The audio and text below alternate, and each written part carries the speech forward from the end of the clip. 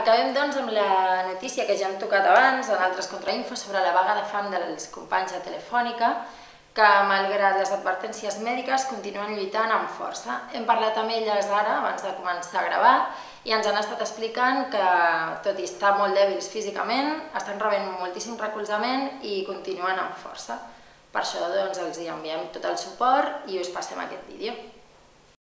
Me dirijo a los directivos que el 4 de febrero de 2011 decidieron hacer uso del artículo 52D para despedirnos a Maricruz y a mí y que aun habiendo perdido tres juicios, un nulo y dos improcedentes, han persistido en su decisión.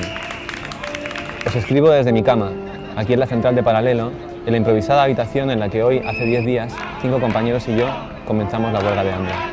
Tenéis que saber que a todas horas hemos visto entrar por la puerta de la tercera planta de Paralelo a compañeras y compañeros que vienen a alimentarnos con la verdad que durante muchos años ha permanecido oculta bajo el temor y bajo la resignación la verdad de una plantilla que sabe de vuestra obsesión por acabar con ella para poder así externalizar el trabajo y hacerlo más barato.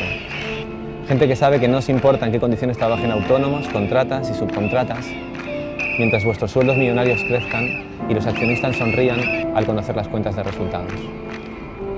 Nos alimentan las personas que entran por esa puerta y nos abrazan porque saben que nos utilizasteis a Maricruz y a mí para atemorizarles a ellos. Que saben que esto que habéis hecho con nosotros es inhumano una agresión desproporcionada del fuerte con el débil, exactamente una injusticia.